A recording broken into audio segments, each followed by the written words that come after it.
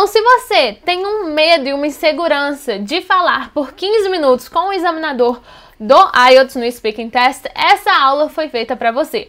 Na aula de hoje eu vou te ensinar como melhor responder cada uma das três partes desse exame para alcançar uma boa nota neste exame do IELTS. Are you ready for it? Cause I am ready to do this. Ok, bom, como eu já adiantei, né, aí uns 15 minutos é, que a gente tem desse speaking test com o examinador, é entre 10 e 15 minutos. É um exame individual, é apenas você e o examinador dentro de uma sala. E esse exame é dividido em três partes. Quais são elas? Part 1 é um break the ice. É um quebra-gelo. É aquela parte que o examinador sabe que você está nervoso. Que você está nervoso porque você não sabe muito bem o que te espera naquele momento ali e você é, precisa conseguir relaxar para mostrar o seu domínio do inglês naquele exame. Então, o que, que seria a ideia do Break the Ice? É um momento para que você acostume com o jeito que o examinador fala, para o examinador começar a te conhecer e você relaxar desse nervosismo natural que acontece durante um speaking test. E aí, as perguntas desse Break the Ice são perguntas muito pessoais, são assuntos que você vai responder sobre os seus gostos. Qual a sua, é, sobre a sua família, onde você mora, o que, que você gosta de fazer de hobby, o que, que tem para fazer na sua cidade. Se você gosta de. I don't know. Art é um, um tema que pode aparecer. Então, se você gosta de, de, de ir em museu, pode ser um também, que Fastpaster já me falaram que aconteceu nesses últimos tempos, né? Nessas últimas semanas, teve uma parte inteira sobre ir a museus. Então, se você gosta não gosta, o que é positivo, negativo, enfim. E aí é para você ir falando sobre a, a sua opinião sobre aquelas coisas, o, o, como você vê tudo aquilo acontecendo. Bom, passando esse primeiro momento que é feito para você dar aquela relaxada, temos a parte 2, que é um speech. Essa é uma das partes que mais assusta os alunos, porque é nessa parte que você fala é, você tem um minuto de preparo sobre um tema que eles te dão ali na hora, eles te dão um tema com alguns tópicos para você conseguir desenvolver melhor aquele tema. Você pensa aquele tema ali na hora, por um minuto, e aí você tem dois minutos para falar sozinho sobre aquele tema. Então, em dois minutos, você tem que construir uma narrativa com início, meio e fim que fale sobre o tema. Se eu passar dos dois minutos, tem problema? Se passar dos dois minutos, o examinador vai te cortar. Quando der dois minutos, vai falar thank you very much. E é isso. Segue o baile, segue a prova. Não quer dizer que você está errado ou que você não soube cumprir a task. É apenas porque é realmente dois minutos que eles querem ver. Se você conseguiu falar ali por dois minutos, já prova para eles uma fluência, né, e um domínio da língua que eles precisam ver na, na, no seu speaking. Então, se te cortarem na partiu, não assuste, não tem problema. Mas e se eu falar menos de dois minutos? Aí rola aquele silêncio constrangedor com, com o examinador. Então, por exemplo, se eu falar em 1 minuto e 50, não tem problema. Porque 1 minuto e 50 tá ali quase no 2, já, já praticamente preencheu o tempo inteiro, tá tudo bem. Mas se eu falar em 1 minuto e 20 ou 1 minuto e 30, aí eu falei muito menos do que eles me pedem para falar. Isso vai mostrar que eu não tenho tanto domínio assim da língua para desenvolver um raciocínio por um período de tempo. E aí sim a nota pode ser prejudicada, né? Se for menos aí de 1 minuto e 50 ou muito mais do que 2 e 10, é, se eles não te cortarem com 2 minutos. Então, para esse speech, o que a gente tem que fazer é desenvolver a nossa habilidade de falar por um período de tempo, fechando aí o nosso, o nosso raciocínio. E a parte 3 é sobre general questions. Essa parte também tem muitos alunos que falam que é até mais difícil que a parte 2. Eu, particularmente, acho a parte 1 mais desafiadora, mas a parte 3 pega o assunto da parte 2 e expande, generaliza. E aí, às vezes, né, por generalizar, fica difícil. Mas a gente tem que lembrar que o Speaking Test é uma prova de opinião. Então, se você não sabe uma resposta para a parte 3, Ok, você não sabe, você vai falar que não sabe e argumentar em cima disso. Você não precisa ter resposta para todas as perguntas e também não existe resposta certa ou errada para as perguntas do Speaking Test, até porque é uma prova opinativa. Então não tem como o examinador falar assim: "Não, você está errado". É a sua opinião. Ele apenas respeita. É muito mais uma prova para saber se você consegue falar por um determinado período de tempo que faça sentido com uma gramática correta, com concordância, com vocabulário variado, do que para julgar se o conteúdo da sua resposta está correto ou não. Ok? Então não é muito sobre o conteúdo do que você fala, mas o como você fala e o como você demonstra isso para o examinador. Ok, então esse é o, o raio-x do Speaking Test. E como que a gente é avaliado nessa prova? Então, todas as, as provas do IELTS a gente é avaliado de 0 a 9.0, sendo avaliações né, de ponto 0 ou ponto 5. É, e aí, no Speaking Test, são quatro categorias de análise. A primeira delas é Fluency and Coherence. Essa quer dizer o quê? Se você consegue falar por um período de tempo sem ficar tropeçando na palavra o tempo inteiro. Então, a fluência não é que eu vou conseguir falar rápido ou que eu vou falar igual um nativo, independente de qual país seja esse nativo falante da língua inglesa. O fluency é se eu consigo falar, se eu consigo comunicar por um período de tempo. E o coherence é se faz sentido isso tudo que eu tô falando. Não é só falar por 10 minutos, mas é falar algo que faça sentido durante esses 10 minutos. Então não é falar rápido. Lembrando que eu, Gabi, falo muito rápido em português e em inglês também. Qualquer língua que eu vou falar, eu acabo falando muito rápido. É uma característica minha, pessoal. Isso quer dizer que para você conseguir pontuar influência em coherence, você tem que falar tão rápido quanto eu falo? Não, até porque às vezes por falar muito rápido eu me prejudico em pronunciation, porque uma palavra come a outra, não pronuncio corretamente, e aí eu me prejudico nisso. Então, o fluency não é quão rápido a gente fala, e sim o quanto a gente consegue falar sem ter que parar a cada sílaba, cada palavra, tropeçar muito no que a gente está tentando falar. Ok? Bom, Lexical Resource é o segundo ponto de avaliação aqui no Speaking e isso quer dizer vocabulário. De novo, quando a gente fala de vocabulário para IELTS e para Speaking, a gente não está falando do vocabulário mais acadêmico e mais formal e mais top do mundo. Principalmente para o speaking, que é uma prova informal, que quer saber se você sabe comunicar para morar em um país, né, que fala inglês o tempo inteiro. O vocabulário que a gente procura é um vocabulário menos comum.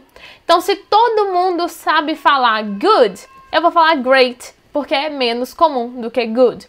Great também já é bem batido, pode falar awesome. E aí você vai achando outros sinônimos que são menos comuns sobre aqueles mesmos temas para mostrar que você tem esse conhecimento.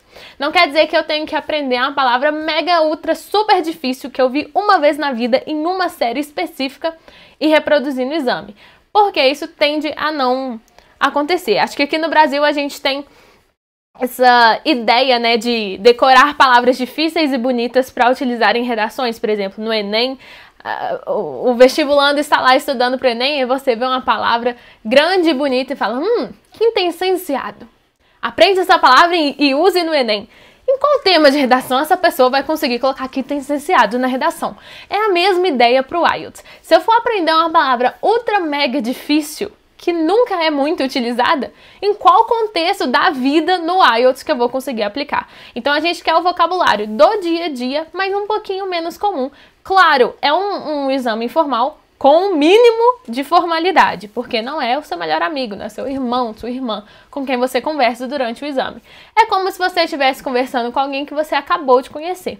É isso que eles querem saber para medir se né, passando o IELTS, você consegue é, fazer uma reunião de emprego, sair com os amigos para ir no restaurante, num bar, apresentar um trabalho na universidade, enfim, cumprir o que você precisa fazer, né? Qual é o seu objetivo aí com o IELTS.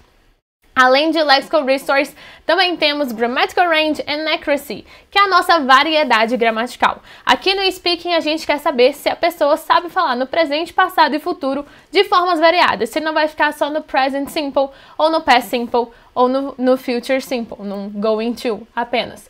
Se eu consigo utilizar aí um Perfect, um Passive Voice no, no Speaking, eu acho que não soa tão natural assim. No writing eu acho que passive voice cabe mais, mas uma conditional poderia caber nos nossos speaking. Uh, o past, falar do past de outras formas, past perfect, past continuous, enfim, conseguir variar e, claro, utilizar da forma correta, accuracy. Não adianta decorar a fórmula e conseguir montar a frase se ela vai estar errada e você não vai conseguir realmente passar a ideia que você quer com aquela mensagem. E aí você perderia pontos, né? Se ela estiver errada. Então é variedade gramatical e com bem você consegue é, utilizar aquela gramática naquele contexto.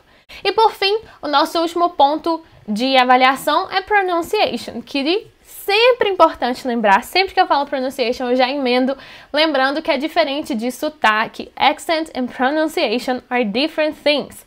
Então, a pronúncia existe uma ou duas no máximo para cada palavra. É o que está lá no dicionário, é o que eles mostram, é a forma como a palavra foi criada para ser pronunciada.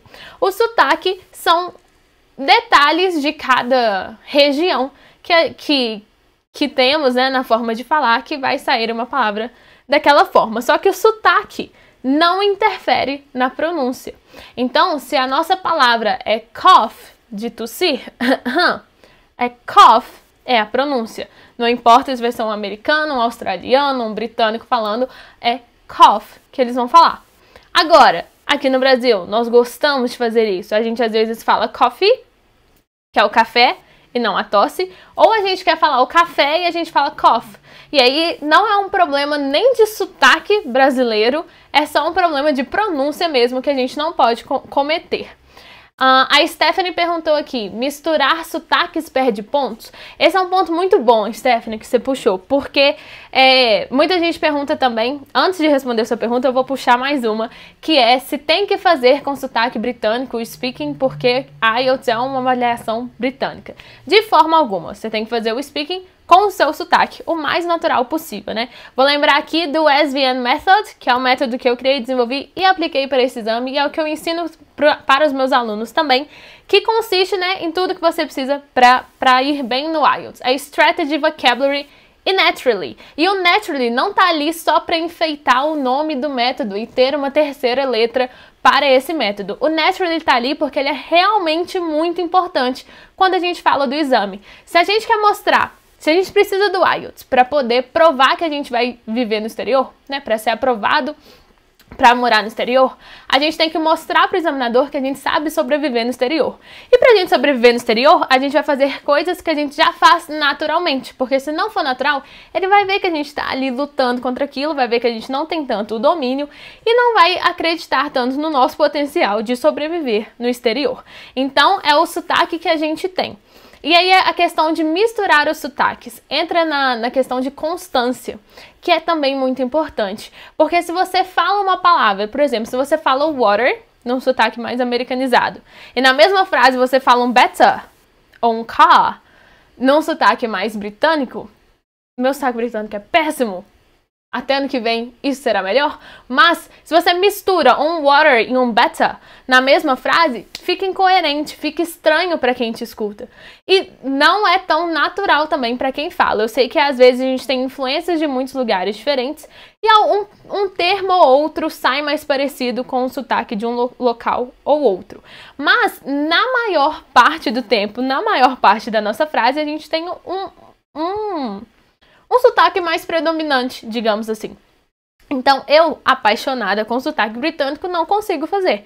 Naturalmente, eu consigo fazer se eu for pensar em como que eu vou fazer aquele sotaque e se eu tô brincando, porque sério, eu realmente não consigo, porque não vem natural e eu vou travar. O meu sotaque é mais americanizado, mas meu sotaque é brasileiro, né, gente?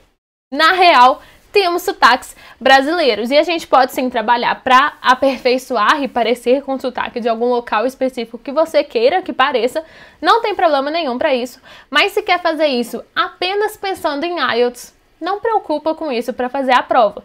Faz com o seu sotaque normal, natural, brasileiro e se mistura muito esse tipo de sotaque, tenta diminuir essa diferença, porque não vai soar natural e a naturalidade é realmente muito importante para esse exame.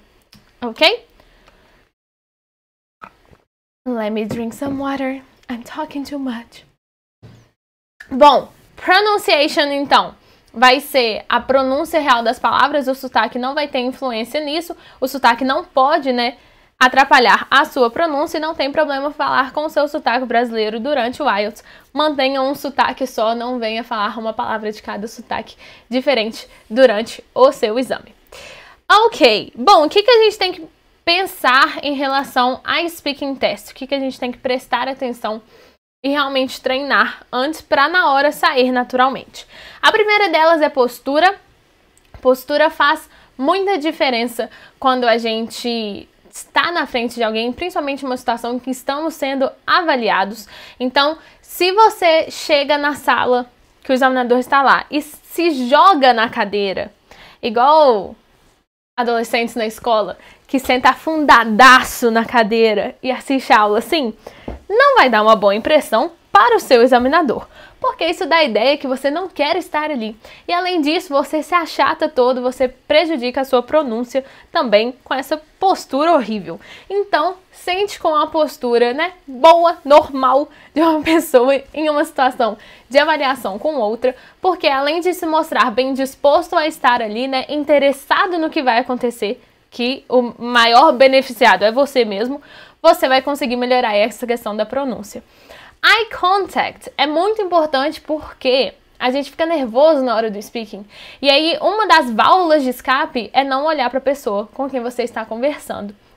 Então você está pensando, e aí você começa a olhar para cima, só que você não percebe porque você está nervoso e você continua falando, mas você não está olhando para a pessoa aqui.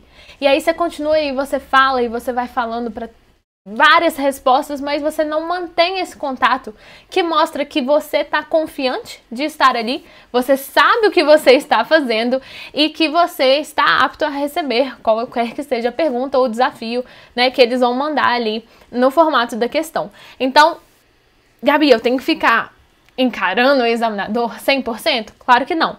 Dá para é, dar um, uma pensada e olhar para cima, normal, enfim, do, do, que é da forma natural de falar. Mas, invariavelmente, já vi isso acontecendo com vários alunos, praticamente todos os alunos que passam pela mentoria de speaking comigo, eu tenho que fazer esse comentário que é, em algum momento, quando tá mais nervoso, não olha para mim, não olha para o examinador no, no momento do, do exame. E isso parece para mim que a pessoa está extremamente é, despreparada que ela não vai conseguir sobreviver lá fora. E a gente quer dar a ideia ao contrário, que a gente sim sobrevive. Então, a gente não só sobrevive, a gente vive lá fora. Então, eye contact é importante. Uma das formas de treinar é gravando vídeos, e aí é mais difícil porque você não tem olhos para olhar, você tem uma lente para olhar para você. E aí você tem que aprender a focar né, nesse ponto e com uma pessoa mais tranquilo de olhar para o rosto da pessoa do que só dentro de uma lente. Além do que, Atualmente as provas estão sendo feitas de máscara, right? Por conta da pandemia. Então não, não dá para ler o lábio do examinador enquanto ele fala. Você tem que realmente só escutar e é olho no olho ali que vai dar alguma expressão sobre a reação do examinador sobre o que você falou e vice-versa, porque os dois estarão utilizando a máscara. Outra coisa importante, já vou puxar, eu ia falar isso lá na frente, já vou puxar. É, como é de máscara, é importante treinar também de máscara, right? Vocês já estão com a prova chegando aí, tá próxima, façam o treino da prova de máscara, não só o speaking, mas o exame inteiro, para você ver como que é a experiência e quanto mais cansado você vai sair desse exame por conta da máscara. Ok. Outro ponto aqui muito importante é self-correction. Muita gente acha que não pode fazer a self-correction porque aí você mostra que errou, mas é o contrário, você deve fazer a self-correction se você percebeu que você errou para mostrar para o examinador que você sabe que estava errado e você sabe o que é o certo. E aí o que você perderia pontos, você não perde mais, porque você já já mostrou que você sabe e ainda conseguiu corrigir. Então, qualquer momento que você perceber que errou, self-correct. Que não pode acontecer é self-correct a cada frase, por exemplo, porque isso vai mostrar o nervosismo e o despreparo. Então é treinar para conseguir fazer tudo isso. Até o fim da aula eu vou passar uma técnica para vocês de treinar essa questão de confiança e tranquilidade aí para fazer o exame, ok? Uh, o Rafael mandou aqui que o uso da máscara, né, é um dos maiores problemas atualmente, é, porque ele utilizava muito da leitura labial.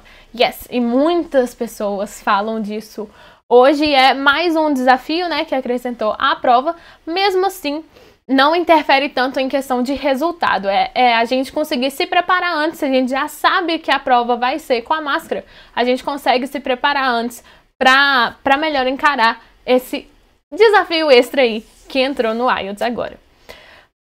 Ok, o último ponto que eu vou falar aqui antes da gente realmente fazer um speaking test é as feeling the silence expressions. Essas são expressões é, que vão preencher o silêncio, né? São expressões que ganham alguns segundos enquanto você pensa na resposta. Em português, a gente fala muito é, a gente tá falando e a gente fica é, e aí a gente continua a falar. Em inglês, o que eles fazem em vez de é, é um. Então a gente pode sim usar o um, mas é meio feio, é um pouco irritante se você fala um o tempo inteiro na sua fala. Se você assiste entrevista, você vai ver vários famosos fazendo um no meio da resposta deles enquanto eles pensam. É extremamente natural. Mas em uma situação que a gente está sendo avaliado, e uma das categorias de avaliação é lexical resource, é vocabulário, a gente pode, além do um, falar algo como well ou so I mean, e aí a gente consegue ter outras possibilidades para realmente ganhar um tempo aí no que você está pensando. E essas outras possibilidades são boas para a gente não ficar muito repetitivo no que a gente fala. Ok? Bom, pessoal, muito bem. Agora chega o desafio desta aula, que é vocês, todos vocês serão os meus examinadores, porque eu vou realmente responder 15 minutos de um speaking test mostrando Model Answers, Sample Answers para vocês. Eu não treinei antes, tem muito tempo que eu montei esse arquivo aqui, então eu não sei quais são as questões que estão me esperando. É realmente um speaking test no susto que eu vou responder. E vocês vão me avaliar. Por quê? Enquanto eu respondo, eu não consigo perceber o que eu disse para eu lembrar e comentar depois. Então, se eu repetir a expressão, vocês anotem e aí vocês vão puxar minha orelha assim que a gente terminar de fazer a nossa simulação. Se eu falei alguma pronúncia errada e vocês perceberem que eu falei errado, vocês anotem também essa palavra e me mandem que aí eu vou corrigir logo após o nosso simulado. Enfim, quaisquer comentários sobre as respostas, sobre possíveis erros, repetição de palavras, que eu acho que é a mais comum e é bem provável que aconteça, vocês anotem, podem ir mandando no chat. Eu vou fazer os 15 minutos sem parar.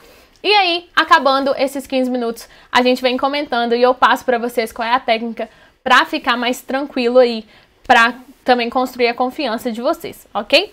Então, do meu lado aqui nos slides vão aparecer as perguntas, eu vou me fazer as perguntas e respondê-las. And it's very weird to do this now. Mas é mais ou menos o que vocês têm que fazer quando vocês gravam um vídeo de vocês, só que eu tô fazendo ao vivo. A lot of pressure is on. Beber a água para ter fôlego, para fazer todo esse speaking test. Eu já estou aqui eu separei antes e quando vocês forem treinar sozinhos gravando, vocês têm que fazer isso. Eu já separei meu caderninho com, com lápis pra, pra part 2 para fazer a minha anotação, porque é a mão, independente se sua prova é paper base, computer base, essa parte é a mão. Então a gente tem que fazer aqui. E eu terei o, os cronômetros da part 2 também. So we can do this. Are you ready? I think I'm ready. Let's begin. Jesus Christ. Quem tá aqui no Instagram e quiser migrar pro YouTube para ver as perguntas também, enquanto eu respondo, fica à vontade, youtube.com barra. Let's do it. Relembrando então, Part 1, Break the Ice, Part 2, Speech, Part 3, General Questions. Part 1 do Break the Ice normalmente são três tópicos diferentes que a gente conversa, Part 2 e Part 3, um tópico apenas. Então já tem todas as perguntas aqui. Let's see how I how, how we do this. Ó, eu fiz o meu IELTS em 2019. Então pode ser que eu esteja um pouquinho rusty, enferrujada. But let's see how it goes. Okay, part one, first question about food. What's your favorite food? That's a really good question. Uh, I'm passionate about eating, so I have a couple of favorite foods. It's really hard to choose just one, but I guess I would be between uh, pizza and hamburger. Although in Brazil we have many Brazilian food, you know, local food that are very competitive, such as pão de queijo or coxinha or brigadeiro. There's so many good things to eat in the world that is really hard to choose just one. But I think that if we go in the category of salty food, I would go with hamburger or pizza. Have you always liked the same food? Oh, definitely not. No. Uh, I was really hard uh, person to eat when I was younger, and I still am. I'm not a healthy eater. I, I eat a lot of unhealthy food, and I like pretty much all of them. But when, when it comes to healthy food, such as salads, vegetables, fruits, and etc. I am not the role model to follow, and I know I'm wrong and I should eat more, but I, I'm not that that person. So there are food that I liked eating when I was young, uh, and now I don't like, and the, the other way around as well. So when I was young, I did not eat tomato and lettuce, but now I do, which are healthy food, and I think that's uh, a plus for me. Uh, is there any food you dislike? Definitely yes. As I said before, I am not a healthy eater, so there are many food I dislike. I can quote now minced beef. That is one of the food that I used to like when I was young, but now I don't like it anymore. I don't know. One day when I was around 11, 10, 11 years old, I just decided I would not eat it anymore, and now I actually don't like the taste of minced beef. So yeah, so that is one food I dislike and one I dislike and many people get shocked by it, it's uh, onions. I don't like onions, I don't like the texture of onions. However, I can eat food that is prepared with onions. What is a common meal in our country? Oh, Brazil has uh, plenty of traditional food and I think by regions it changes, but one that is in the entire country that is very traditional is the lunch meal of rice, beans, and beef or chicken. And some places they add farofa to it as well. And it, I, I would say that is the main traditional meal in Brazil. Everywhere you go, you could find it. All Brazilians miss it when they don't eat it for a long period. So that is our traditional meal. Okay. All right, let's change topics now and let's talk about music. Do you like music? I am passionate about music. Uh, every moment I can, I listen to music. So when I'm working and I don't actually have to interact with anyone, it's just me in my room with my laptop. I always have background music on and it helps me to be more productive and also helps me to um, relax at the same time as I work. So yeah, definitely music lover. What's your favorite type of music? That is also a tough question. Maybe it's even harder than what's my favorite food. I am a very eclectic person, so I listen to many different genres of music. I would go from Brazilian rhythms like pagode until uh, Broadway hit shows, you know, like musical um, songs. But I would say that my favorite one of all would be the international pop music, probably the one one of the first genres that I actually loved growing up and is one that is constant in my life, like throughout the years. So I'm always listening to international pop music. Can you sing? Oh, I wish I could sing. When I was young, I asked my dad to enroll me in, uh, in singing lessons. I really wanted to be a good singer. My role model growing up is a Brazilian singer called Sandy, so I wanted to be like her. I wanted to sound like her. Unfortunately, I cannot. My dad never put me in the song uh, lessons, and then I never learned. I, I sing, but I'm not good. So I would say I cannot sing. Did you learn music at school? I did learn music at school. I guess when I was really young, around 7, 8 years old, I had music lessons in my regular school. Uh, however, it wasn't something really grand or that we learned how to play mute like instruments. Uh, in class, it was just like basic rhythm uh, music exercises. But it was nice. I miss those music classes. Okay, let's change topics. Let's talk about pets. Do you have a pet? I do have a pet. It's a dog. Her name is Estrela. She's 16 years old and nowadays she is, um, as she's older, she's like a senior dog. She is deaf and also blind, which is an adventure to live with her because she needs help to eat, to drink water, to go to the bathroom. So when she's not sleeping, we need to be babysitting her the entire time, but she's a very cute dog. Uh, do you like animals? I do like animals, and when I was young, I was terrified of dogs. That's actually why my dad got me a dog, got me Estrela in the first place. It was kind of a reverse psychology. uh, try out and it worked. Now I like dogs. I'm not the biggest fan of cats though, and I there are some like wise animals uh, not my cup of tea as well. So I like animals, but depending on which animals, then I, I see how much I like them. Uh, what's your favorite animal? I will be very cliche in this answer and I'll say that dogs are my favorite animal. But if I don't need to touch or interact and I can only see from a distance, I would also quote pandas as one of my favorite animals. I think they're very cute. And what is a popular pet to have in your country? In Brazil, we have a couple of popular pets that people normally have in their home. Uh, dog will be the, the most popular one. I think number one is dog, followed by cat and fish and parrots maybe. Uh, some people also have turtles and rabbits, but I would go with dog as the most popular pet to have at your home in Brazil. Alright, now we'll move on to part 2. So here's a topic that I have one minute to prepare and I should speak for around 2 minutes. The topic is, oh god, describe a song you like. You should say what kind of song it is, what the song is about, when you first heard it and explain why you like it. So now I have 1 minute to do that. Let me put a counter here. There you go.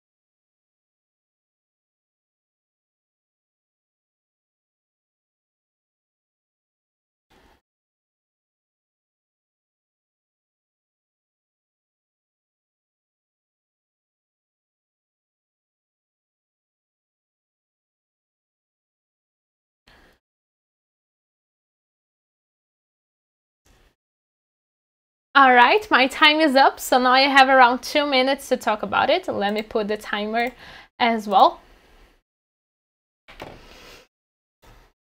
Alright, so I've chose to talk about a song called Happily Ever After. It's by the singer Jordan Fisher with another girl, a female singer, but I forgot her name right now. It's the theme song for the fireworks shows in Magic Kingdom in Disney, the Disney park. So they have a, a fireworks show every night, and this is the theme song for the entire show and the projections in the castle. It's a very nice up to beat song. Um, it's about dreams and hope and making our dreams come true. So I, I believe it's a very inspiring song, and I, I think that's why it talks to me so much. It, the first time I heard this song, I can't quite remember the exact first time I heard it, but I know that since that first moment, since the beginning, it, it became a special song to me, a song that I carry close to my heart, and is the song that I get chills every single time I listen to it and I sing along to it. Um, this song, it's kind of like the, the the image, you know, the figure of my of me getting the, the acceptance to work at Disney, I was listening to this song on repeat for the entire morning when I got my acceptance email to work at Disney. And then I could watch and listen to, to that song live, watching the castle with the fireworks and etc. It was a very emotional moment, and it's still my superstition song when I need something uh, to go well. So with the England process, my project, when I needed my visa appointment to be scheduled, I was listening to the song 24 7. And in the day I listened to it, it worked. I got my appointment for two days later and everything worked. So I think it's really my uh, superstition song, my lucky song, and it, it talks to me. It's very inspiring. And whenever I'm down, I'm feeling blue, I listen to the song and I'm happy and I want to cry of happiness now and, and get chills. So it's a very, very special song to me. That's it, three seconds to spare. I'll take it. Let's move on to part three now. So part three will talk about art. What kind of art do you enjoy? That's a really good question because there are so many different types of art uh, nowadays in the world. So I would say um, I'm not very fond of the traditional art about painting and the art that we can find in the museums, the sculptures, paintings. Of course, I think it's beautiful, but they don't really talk to me that much. So I would go with uh, music and dancing as the types of art that I connect better with and I believe I believe dancing would be the one to talk about here. It's one that I experienced as the dancer and also as the the expector. So it's one that, that really talks to me, talks to my heart. What are the tradition traditional art forms in our country? I've never thought about that question before, and it's a really interesting thing to think about. What are the traditional art forms in Brazil? Well, I would say uh, music, it's very traditional. We have very traditional Brazilian themes, uh, genres like sertanejo or even pagode, but I think sertanejo, it's older and more traditional for us. And it talks a lot about even the way like the performers dress and how they talk it's really local and regional and represents the culture and the habits and the songs the lyrics have the story of sometimes the singer or just of how people really interact here. So i i would say that is a traditional form here in brazil. What makes a good painting Another great question. Um, I am not the biggest fan of paintings, as I said before, so I might not be the best person to talk about this thing. But for me personally, I enjoy a painting that can transmit something to the viewer. So when I see a painting that makes me feel something or that I can see how much the the artist and like how long the artist had to spend doing that that like painting the canvas and and making that art come true uh, I believe that's a good painting. I would say the the final answer will be the the intention of the painter behind the canvas do you think children should study art at school? I definitely think so. I studied art when I was in school. I was not a good uh, art student there. I, am not very talented with my hands, but I, I do believe it's very important for children to learn because it teaches not only coordination but also creativity. So it helps them develop things that they cannot that might not be able to develop inside the classroom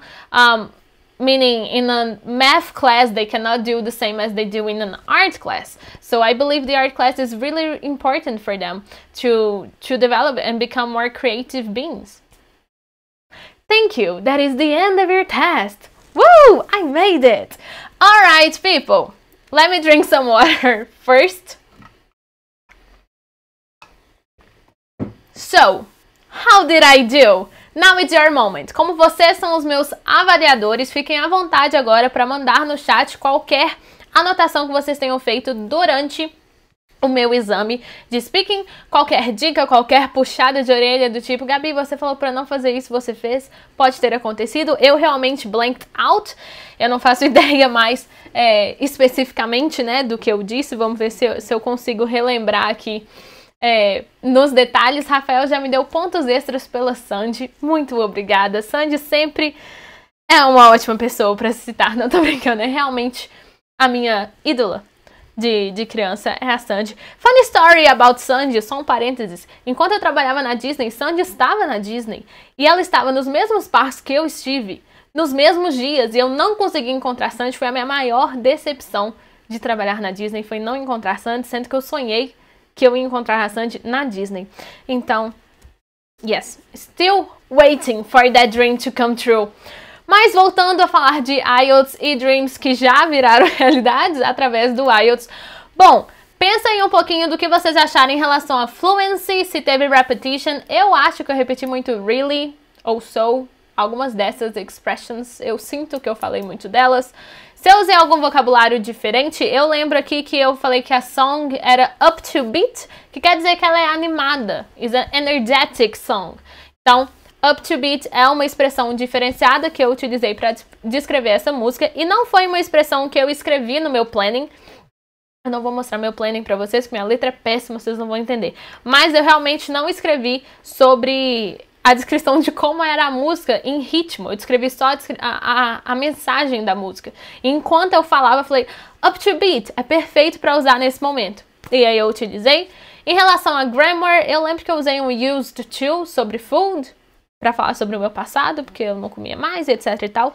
Eu falei lá nas foods, eu falei minced beef, é, para quem não sabe, minced beef é carne moída, então é uma forma específica de falar da carne, então já é um vocabulário mais específico. Se eu não soubesse falar carne moída em inglês, eu não poderia falar não teria como eu explicar, porque o que eu teria para falar seria meat or beef, e aí é muito genérico. Não ia passar a ideia que eu precisava. Então eu tinha que saber esse vocabulário para dar esse exemplo, ou eu tinha que inventar outra comida para falar ali. Mas não inventei nada, só disse verdades nesse exame. É, pronunciation, não me lembro de nada. Eu, eu lembro que teve uma das últimas respostas que eu terminei a frase com. Faltou fôlego para eu terminar a frase, que eu fui morrendo assim, ó e mal consegui terminar de falar. Então isso seria algo para melhorar também. Mas fiquem à vontade para me mandar algo que vocês tenham percebido aí de, de probleminhas durante essa simulação. É, eu ia falar alguma coisa sobre a part 2, agora eu esqueci. That's what happens. Look how red I am. Blushed. Bom, enfim, enquanto eu lembro das coisas aqui, deixa eu dar uma olhada no, nos comentários. A Stephanie falou arrasou, thank you very much. Bruna mandou, é, gostou quando eu usei Well, I never thought about that para ganhar tempo e pensar. Essa é uma carta na manga. Não uma expressão que eu decorei, é uma expressão que eu aprendi, utilizei diariamente até ela ficar natural, para não ter que pensar que eu tinha que falar ela. Porque ela é ótima pra gente falar na, quando a gente realmente não faz ideia do que falar na, na, na, resposta daquela pergunta. And I've never thought about that. A gente está usando um, uma construção de perfect bem utilizada. Então a gente ganha pontos extras aí se sai natural, né? Se parece que a gente está pensando que a gente quer falar aquela frase, o examinador consegue detectar que tem alguma coisa estranha ali. Uh, o Rafael falou que arrasou muito, fluency estava presente. Você falou health food algumas vezes na part 1. Very good. Gostei de plenty of e da resposta sobre música. Thank you very much. That's true. Eu falei muito sobre healthy food e unhealthy food. Existem outras formas da gente falar, mas eu não lembrava na hora. Uma das formas da gente falar healthy food é a diet, a nutrient diet. Um, yes. A, a, melhor, a forma mais simples que a gente vai conseguir transformar o healthy e unhealthy food vai ser para diet. E a gente vai utilizar full of ingredients, uh, of nutrients, sorry, vitamins e etc. Um, e para unhealthy a gente pode falar poor diet, rich diet para healthy food, poor diet para unhealthy food. Então tem outras formas que eu poderia, assim, que eu sei, que eu poderia ter utilizado na hora, mas na pressão, no momento que tem alguém te avaliando, no meu caso tinham várias pessoas aí me avaliando, é, não, não vem. E é normal, a gente tem que treinar para para realmente fazer isso. Minha equipe me lembrou aqui agora e eu achei uma ótima ideia. Eu vou assistir, né, a minha performance nesse speaking depois e vou, vou fazer uns stories sobre isso lá no, no Instagram, no IELTS with Gabi. Então, se vocês não me seguem por lá, segue que nesses próximos dias, amanhã mesmo, eu já faço essa revisão do meu speaking e falo para vocês. A Stephanie mandou, ah, eu podia ter falado very good, picky eater. Quando eu falei que eu sou chatinha para comer, picky eater é a expressão que eu deveria ter utilizado. Thank you very much, Stephanie. Não lembrei de jeito nenhum. A Santoro mandou aqui, boa noite. Estou fazendo preparatório não para o IELTS, mas para o TOEFL. Tem alguma dica para a prova? Bom, o IELTS e TOEFL, em alguns momentos, eles são muito similares, né? Eles têm o mesmo propósito, eles têm uma divisão de prova parecida. Mas eu não conheço o TOEFL a fundo para te falar se o que eu falo de speaking pro IELTS, vai funcionar para o TOEFL. Eu acredito que em parte de treinamento funcione, mas no exame em si eu nunca fiz o TOEFL, nem mesmo um simulado, então eu não consigo precisar se seria exatamente a mesma coisa ou não. Eu entendo mesmo, é de IELTS, foi o exame que eu fiz e é o que eu estudo e ensino todos os dias. Então eu não vou pôr a mão no fogo aqui e falar que serve, é melhor comparar mesmo, assistir aqui e comparar com o que você já está estudando sobre TOEFL e ver se, se é equivalente. Ok? Ok, people. Um, thank you for your feedback. A Stephanie falou que na hora da música ela ia surtar. É muito difícil pensar nessas horas. E é mesmo. E eu escuto música o dia inteiro, realmente. Mas tem dia que eu não escuto músicas em inglês. Então, hoje eu escutei muitas músicas em inglês. Eu tava tentando lembrar em músicas que eu escutei hoje para falar. A maior parte das músicas que eu escutei hoje eram de musicais da Broadway. E aí eu podia assim ficar meia hora contando a história da música do musical, mas eu achei que tá muito complexo. Aí eu lembrei de Happily Ever After, que é uma música que eu escutei e é dos fogos da Disney e a Disney vai cancelar esses fogos e, e trazer um novo show. E eu tô tristérrima que eles vão mudar esse show de fogos da Disney. Então, eu lembrei disso no momento, Happily Ever After. Toda a história que eu contei é realmente real. É a minha música da superstição e extremamente triste que não, não, não vai dar tempo de algum dia voltar na Disney e assistir esse show novamente e chorar lá naquele momento. Ah, o Rafael comentou que achar a parte tio mais difícil que as outras. Eu também. eu achei complicado é, falar tanto sobre uma música em si. Por isso é legal escolher uma música que vocês gostem, né? E saibam muito, porque a minha música, além da história da música, eu tinha uma história por trás da superstição, das minhas aprovações em processos no exterior, minha música da sorte, etc e tal, que dava pra para eu utilizar ali no tempo, que eu não tô fugindo do tópico e ainda tá relacionado. Então, foi uma escolha estratégica de qual música eu ia contar, porque eu acho que a, a música que eu estava ouvindo logo antes da nossa live começar era Bad Habits do Ed Sheeran. Eu não ia saber falar por dois minutos de Bad Habits do Ed Sheeran, porque eu nunca parei realmente para entender a letra, ficar pensando. Eu só sei escutar e cantar e etc. Não, não tem nada a mais comigo aquela música. E se tivesse dado um branco geral e só Bad Habits viesse, eu ia ter que improvisar com muita vontade. É, a dica é música, livro, filme, série, autor, pintura, essas coisas que a gente sabe que podem cair no exame e que são mais complicadas a gente pensar na hora, escolhe um. Não decora o que você vai falar, mas por exemplo, ah, se quer uma música, eu vou falar de Happily Ever After. Mas o que eu vou falar, eu vou descobrir na hora. Eu só sei a ideia. Se cair um filme, eu vou falar de Pride and Prejudice. Ou um book, vou falar de Pride and Prejudice. Uma série, vou falar de Sherlock.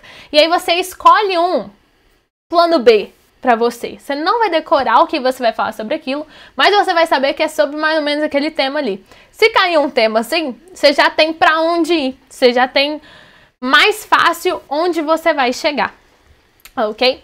O Alex mandou aqui, é, eu curto rock pesado, quase não dá para entender uh, o Phil Anselmo cantando as músicas da banda Pantera. Aí dava pra, pra inclusive, entrar nisso, falar, ah, eu gosto dessa música, mas sim, é difícil de entender e explicar por esse caminho para falar para os dois minutos. Então a gente consegue estratégias para conseguir falar os dois minutos, não necessariamente detalhando a letra de uma música, nessa temática de música, por exemplo. Bom, vamos falar aqui sobre como treinar né, para o speaking test e a dica da, da confiança para a gente ficar bem no dia do exame. Então, como treinar é falando, não tem como vocês treinarem o speaking apenas na mente de vocês. Então vocês vão treinar gravando vídeos para vocês conseguirem ver postura, treinar o, o, contato, né, eye contact com o a câmera, né, com a lente, etc e tal. Então vai gravar o vídeo que só você vai assistir alguns dias depois para você esquecer o que você falou. Bom, vocês têm que falar todos os dias, 100% dos dias, porque é apenas pronunciando que a gente realmente consegue entender. Às vezes a gente pensa e tá perfeita a frase na nossa mente. A gente fala, a gente fala. Não tá tão bom assim. O que, que aconteceu? A gente tem que treinar a fala também, para que ela desenrole e fique mais fluente. Então a gente tem que falar em voz alta. As pessoas vão achar que eu sou doida que eu tô falando sozinha. Vão! E daí? Continua falando dentro da sua casa, na hora do banho, enfim. É para um propósito maior. Então você pode sim falar sozinho, é, né? Na sua casa para treinar.